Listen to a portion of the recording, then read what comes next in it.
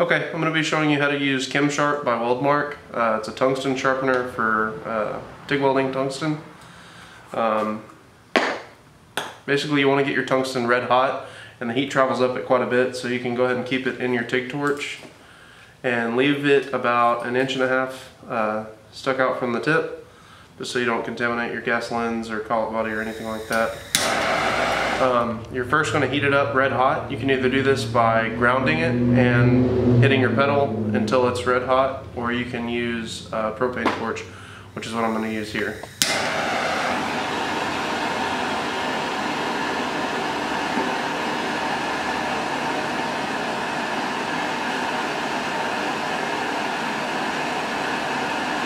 Okay, you're only going to dip about an eighth of an inch of the tungsten into the uh, ChemSharp and then just dip it in and out until you see the taper start to form and uh, just keep doing this until you get the tip you need.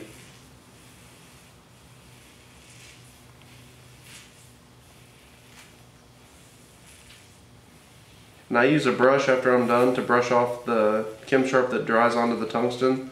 You can weld with that residue on there. It'll burn off rather quickly, like within the first three or four seconds. I've never seen actually any contamination in the weld from it, but just personal preference whether you want it to be on there or not. It takes just a minute, but it gives a really good tip to the tungsten for a good, good clean arc.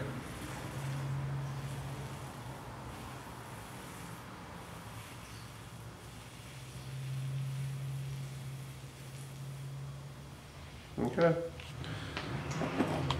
So if you look at that, it's a good tip, and that white residue is just the ChemSharp that dries on there. And I use a dedicated brush to clean it off and just kind of run the tungsten through the bristles. But it altogether leaves you a pretty good sharp tungsten.